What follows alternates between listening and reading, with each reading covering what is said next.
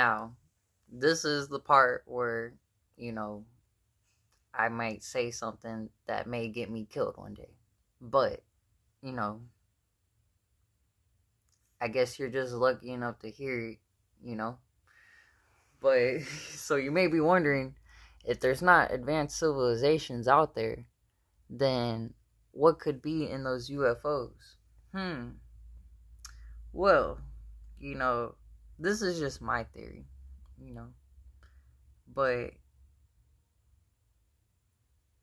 the Nazi party probably made a lot of money doing what they did. And, you know, it is true that a lot of them went to South America. And a lot were recruited by NASA. Now, if you had all the money in the world and your sole accomplishment was conquest and weapons to kill human beings, then, you know, they probably uh, were developing, you know, technology like that. And then, you know, all the conspiracy theorists are always like, "Oh, history is his story," you know. But y'all don't want to add up the facts, like you know, aliens could be a made up thing, you know. It would be really easy to, you know, put them in pictures throughout time if you own the pictures beforehand. But we don't know. We don't know. This is just my theory, okay? You know, I just believe there was a lot of research and experimentation to work with different types of things on the periodic table and maybe not on the periodic table.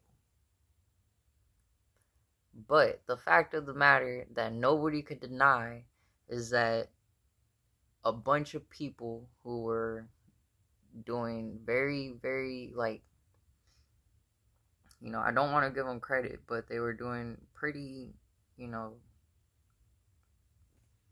like they're, you know, they weren't just chopping limbs off, like they were really doing stuff.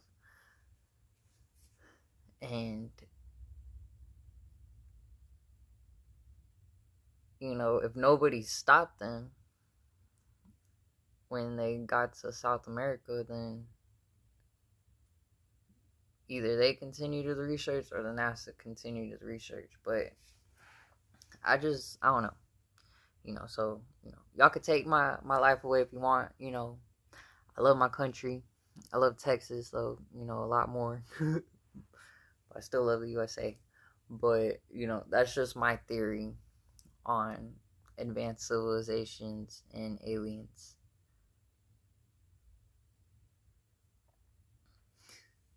because the asteroids stop hitting y'all.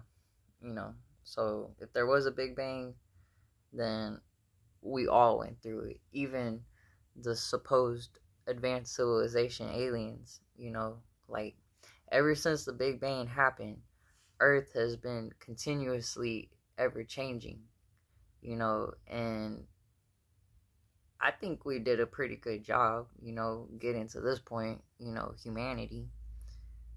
So it's kind of like, how could there be an advanced civilization out there if maybe they went through the same big bang as us, you know, and our our planet is barely able to finally support life. You know, so y'all have a good night with that one.